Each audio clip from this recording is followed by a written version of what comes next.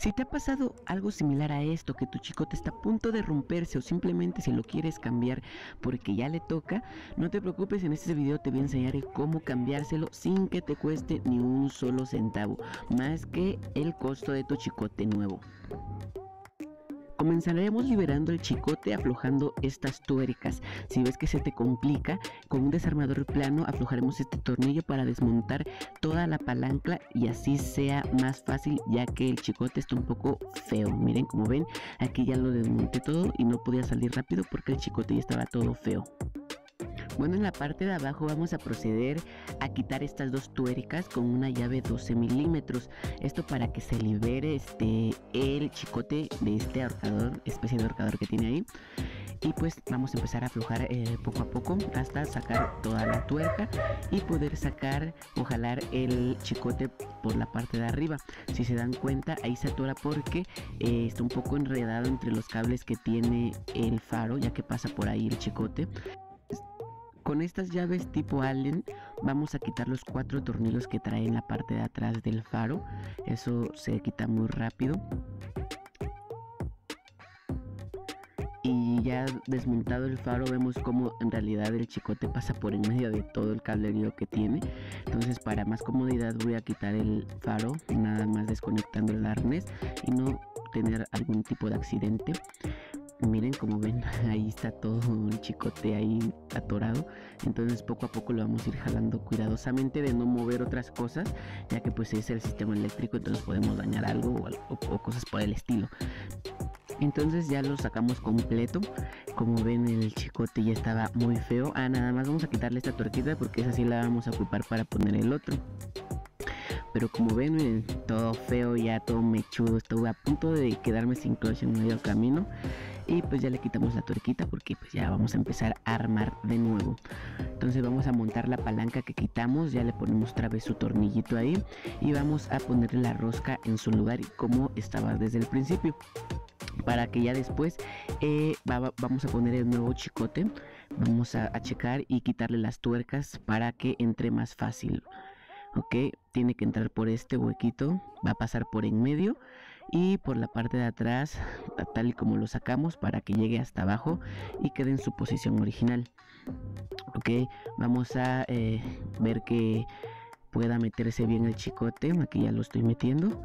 Eh, aquí vamos a checar que no se salga o mover las rayitas esas para que no se llegue a salir otra vez el chicote ok aquí en este hoyito del, que tiene atrás del faro lo vamos metiendo y ya ok lo jalamos y lo introducimos en esta parte de acá eh, ya cuando entre completo todo eh, vamos a ponerle la tuerquita que le quitamos al principio para que ya no se vaya a salir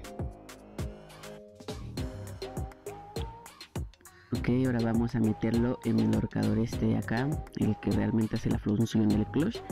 Y esta tuerquita básicamente sirve para calibrarlo. Ahorita este yo la voy a apretar la voy a poner toda apretada porque este chicote como es si compras el original de tu moto siempre va a quedar justo a la medida. Entonces no hay necesidad de moverle a menos que esté un poco flojo vale que ya lo metemos. Ahora vamos a calibrarlo Simplemente con la fuerza de nuestro dedo vamos a recorrer el chicote, bueno, la palanquita esta, hasta el tope, hasta donde llegue con la pura fuerza del dedo. Y así jalamos el chicote hasta estar un poquito tenso, o sea, tampoco que esté tan aguado. Y es ahí donde debemos que apretar las tuercas es ahí este el lugar exacto para que ya no se mueva vale entonces recuerda con tu fuerza pura fuerza de tu dedo lo, lo empujamos hasta donde llegue y ahí aflojamos las tuercas de tal manera que ya no se mueva. Y entonces pues ya básicamente ya vamos a terminar. Ya nada más apretamos bien nos aseguramos de que no se vayan a mover igual depende si como te gusta si te gusta que eh, el clutch esté muy arriba o muy abajo. Eh, a, mi gusto, me gusta más abajo. Me gusta que cuando apenas saco el clutch ya empiece a avanzar la motocicleta. Esto lo arreglas con esta tuerquita de aquí. Entre más pegado esté el clutch, bueno, en esta ocasión pues queda a la medida, ¿no? Pero si quieres que tu clutch salga después, o sea, que abras más la mano para que empiece a despegar, tienes que aflojarla de manera que eso se despegue, la torquita se despegue de la base. Es así como quieres, pero como te digo, si compras el chicote original de tu moto no vas a tener mucho problema con esto. El mío nada más, eh, según lo quise aflojar un poco, pero realmente me gusta así como quedó. Nada más con lo que te dije de, de abajo que, que, apretamos. Ya nada más con eso. Y así quedó mi clutch. Y es así como nosotros podemos cambiar el clutch muy rápido, muy sencillo. Nada más que nos costó el precio del clutch. Y ya sin ningún problema. Aquí ya nada más te fijas que esté muy apretado. Y pues eso sería todo amigos. Eh, nada más aquí le damos otros apretones también. Y listo, ya tenemos nuestro clutch muy bien. Ya nada más ponemos el faro en su lugar y listo. Hemos terminado con este video.